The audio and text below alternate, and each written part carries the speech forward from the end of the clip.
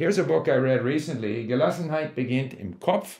Very interesting about how to be relaxed. Hi there, Steve Kaufmann here.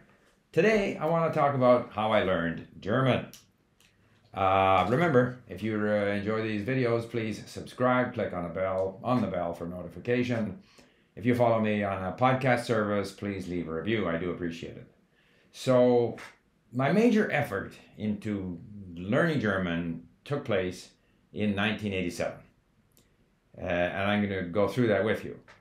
But I did have prior exposure to German. Uh, my parents were from Czechoslovakia. They spoke German at home, although they spoke English with my brother and with me. So I had heard German, but I couldn't speak it. Then I worked on a German ship for two weeks, hitchhiking over to Europe. Uh, I hitchhiked around in Germany. I even worked for two weeks on a construction site in Vienna. So I had some use of German, but it was very rudimentary. So in 1987, I was between jobs. I had a month off between jobs. And I said, you know, I really want to learn German. And I had, you know, prior to getting on that German boat, I'd looked at a grammar book, der, dem, die, des, whatever. And it's always, it struck me that it was just impossible to remember those things.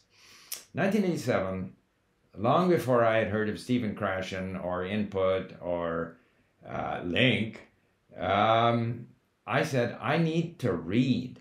I need to read to get a sense of this language. I need to get the language in me. So let me show you what I did. First of all, I went to the secondhand bookstores here in Vancouver. I don't know what got into me, but I said, let's see what, what is there. So I found this book, Im Wandel der Jahre, which is pretty old. It's a University of Southern California, 1959 it was published. And if you look at the book, it's it's got sort of text and uh, it's got uh, vocabulary, you know, along the margin, which is really good. You don't have to flip back for it. Now, of course, it's not going to get all the words that you don't know, but quite a few of them. And as often happens, some of the words they explain for you, you already know.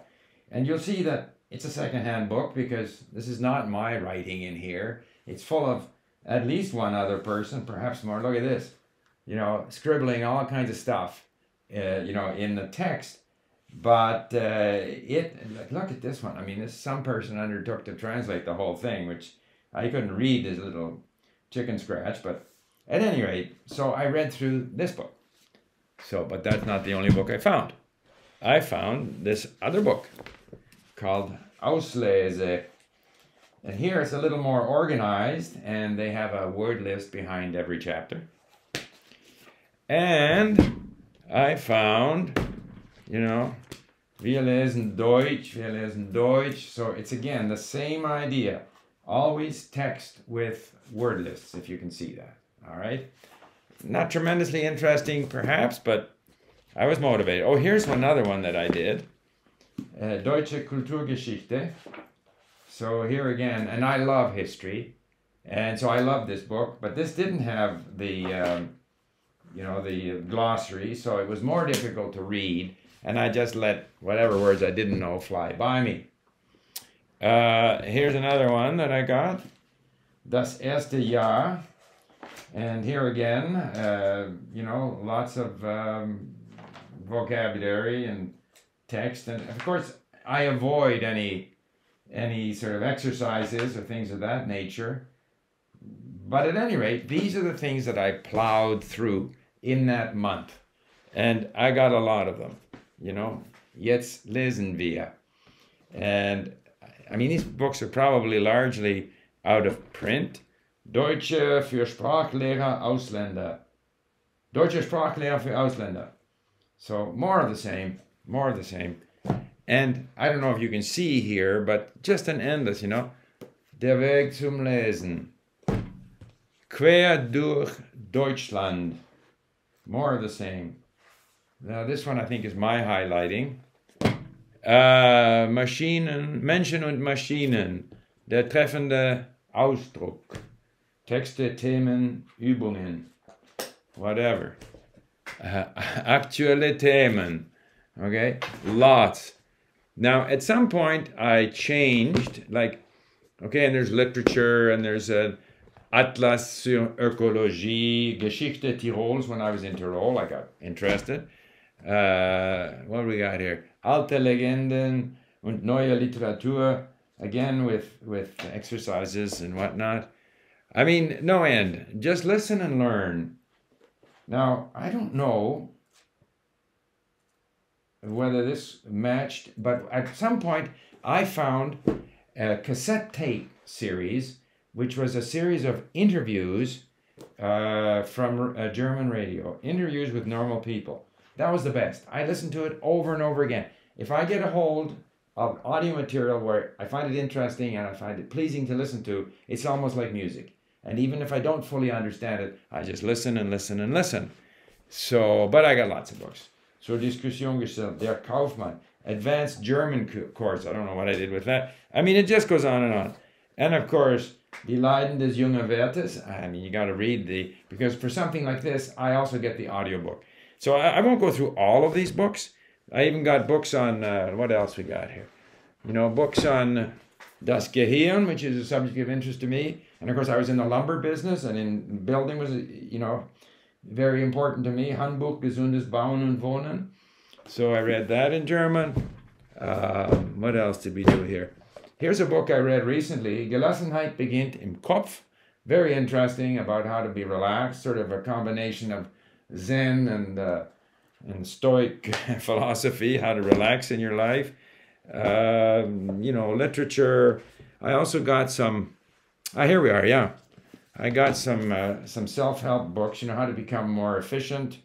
Uh, this uh, Leitner, who sort of designed a prototype of the uh, spaced repetition system. Um, books on history. This is an excellent book, Die Erfindung der Deutschen. I mean, it goes on and on. Uh, and these books are kind of good. Grundwortschatz, Wortschatz Russisch, Grundwortschatz where you can learn vocabulary in a new language, relating it back to German, and so you're kind of picking up vocabulary in both. So, I mean, that's just a quick sort of stab at the. I, I wanted to demonstrate that, you know, long before input and compelling input was was popular, it had, it, it was always obvious to me that that's how you learn. That's what I did for Chinese. That's what I did for Japanese. And I could go through all my Chinese books, my Japanese books. Uh, I read and I listened. In fact, behind me here are CDs, audio CDs, and lots for German, for Swedish, for you know Italian, Spanish, Russian, Czech, you name it. And I could show you, you know, the books for those, and I may do that if there's interest. The thing is, now the world has changed and so now you can find content of interest. You can find audio material for download that you don't have to. I used to have to go to Germany and find CDs to listen to. Now you can find the audio material online. Uh, if the material is older, like Goethe, you can import the uh, the text into LingQ and listen to the audio and learn. You know, go do the sort of traditional literature that way. If it's modern uh, books, you may have to buy the book, and unfortunately, very often they prevent you from, uh, you know, downloading the text or downloading the audio, even if you've paid for it, which is unfortunate.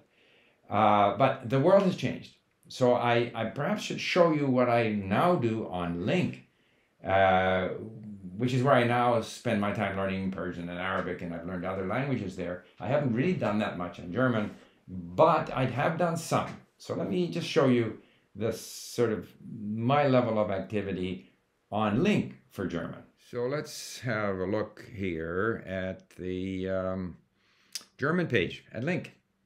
And you can see that there's a lot of different content available to study. Here are some of the things that I have looked at in my sort of study shelf, nothing very recent actually.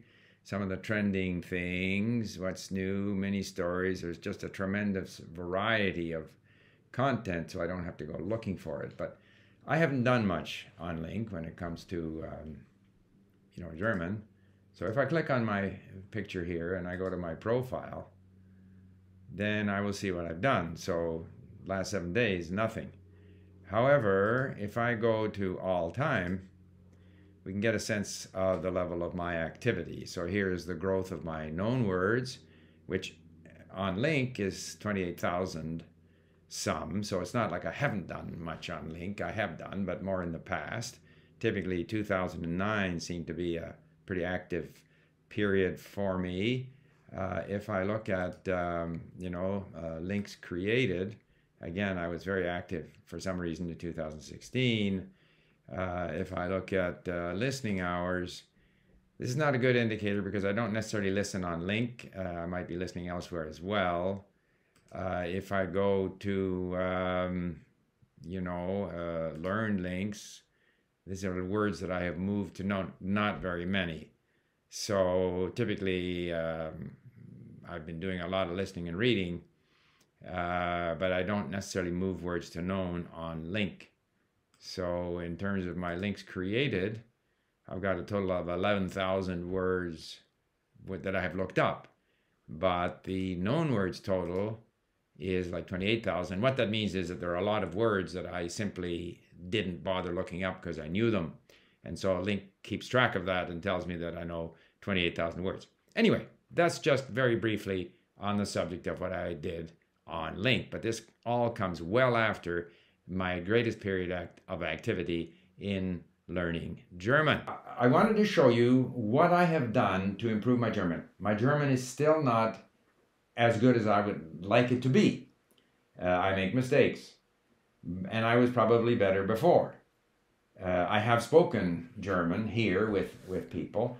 I'm a bit sort of shy about my German, but uh, you know, if I have to speak, I speak. I would like to be better, as is the case with many of my languages.